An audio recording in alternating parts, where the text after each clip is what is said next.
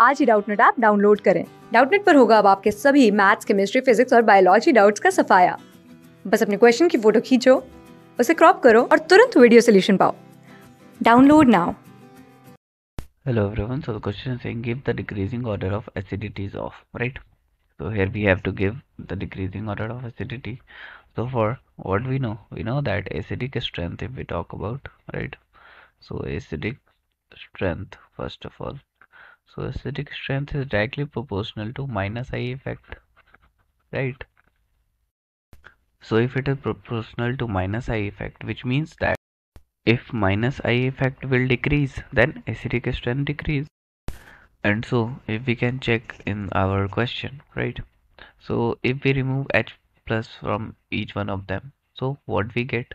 We get ch2 here it is minus and then c o m e and double bond o right?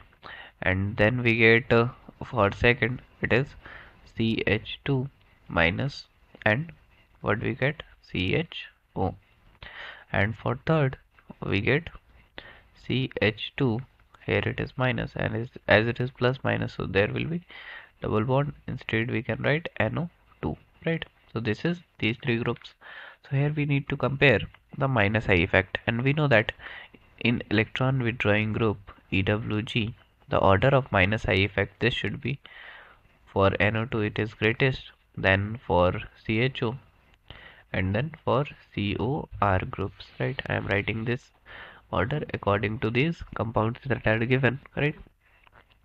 So more the minus I effect more the acidic strength right? So here if you observe that NO2 is having most um, minus I effect right? So it will pull the electron toward it itself right?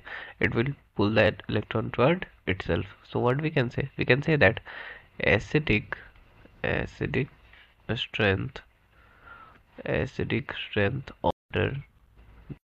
This should be actually this should be actually third should greater than that of second right because the second is RCHO this should also pull right and then it is for first so this should be our required answer thank you class six से twelfth से लेके NEET I I T JEE mains और advance के level तक दस million से ज़्यादा students का भरोसा आज ही डाउनलोड करें डाउट नेट ऐप या व्हाट्सअप कीजिए अपने डाउट्स आठ चार सौ चार सौ चार सौ पर